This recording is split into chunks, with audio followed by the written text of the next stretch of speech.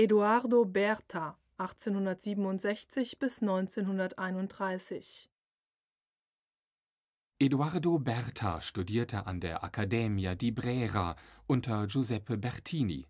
Aufgrund der symbolistischen Einflüsse während der 1890er Jahre wandte sich Berta dem Pointillismus zu, welcher sein Spätwerk charakterisiert.